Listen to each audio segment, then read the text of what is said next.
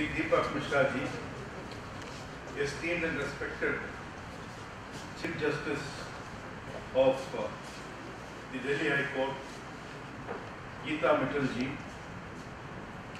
Honorable Justice Sri Kumar ji, Vice Chancellor of the Delhi University, Dr. Yogesh Jagi ji, the Dean of uh, this faculty, this, this faculty, Sri Srimati Ved Kumari ji, other distinguished uh, members of the faculty, Mr. Ravi Maithani, Secretary General of the Supreme Court, my dear students and friends, it is a very happy day for me to come back to my alma mater and the day is very significant because I am coming back to the alma mater when the parens patriae of the Indian judiciary is actually presiding over this function. In fact, uh, it's a belief that whenever we go to a temple with our acharya, we get doubly to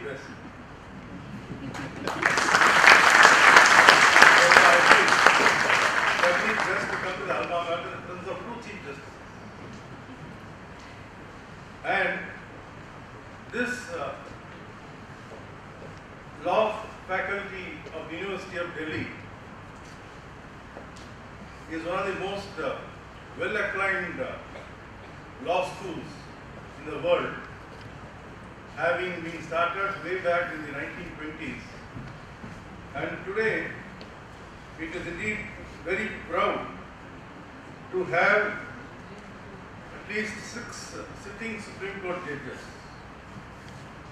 and several, as, as uh, the Dean pointed out, 56 High Court judges and several distinguished senior counsels across uh, India. And I remember the days of uh, very eminent uh, doyens and giants who are teaching us, such as uh, Dr. Upendra Baxi, Professor Lotika Sarkar, Dr. Madhava Menon, Dr. B. Subramaya, Dr. Arabi, who are all actually well known across the world. And you know, later on Dr. Madhava Menon was responsible in starting the concept of the various national law schools. And one distinguishing feature of Delhi University was, unlike other law schools, like the present national law schools, I would even today rate the Delhi University LC1, LC2 or the campus law center to be far superior to the national law school.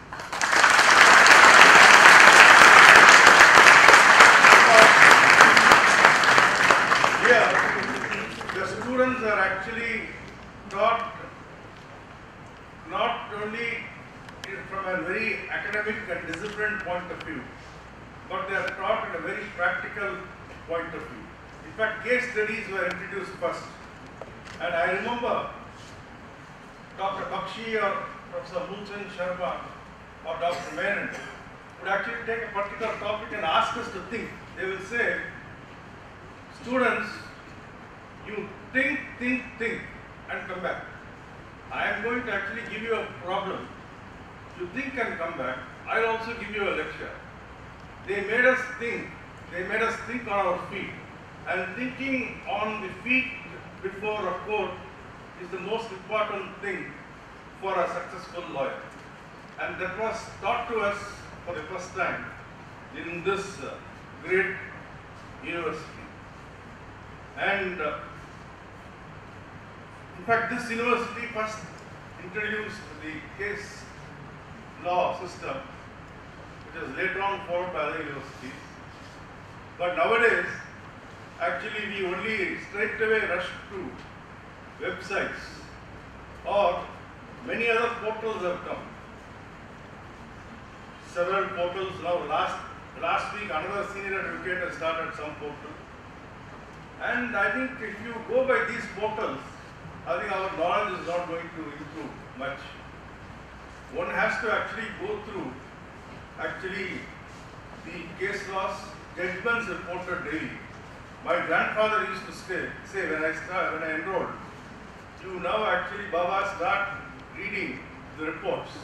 And now start reading, I enrolled myself in 1983. He said start reading from 1983 Supreme Court backwards up to 1950 and put, uh, have a notebook and put our uh, notes on every, divide the subjects and put notes. And also have a separate uh, digest and uh, those days there was no, no, no internet. And these internets don't actually give you any, any actually site, Manupatra or whatever it is. They don't actually give you important actually observations or findings in very important. They sometimes also tend to mislead.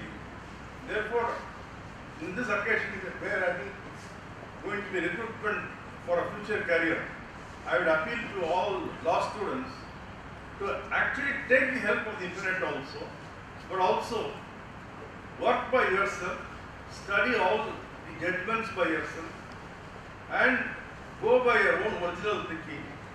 And in fact, the examples are people who are sit- sitting on the dais. Follow them, and you have a very great career. Thank you for giving me an opportunity.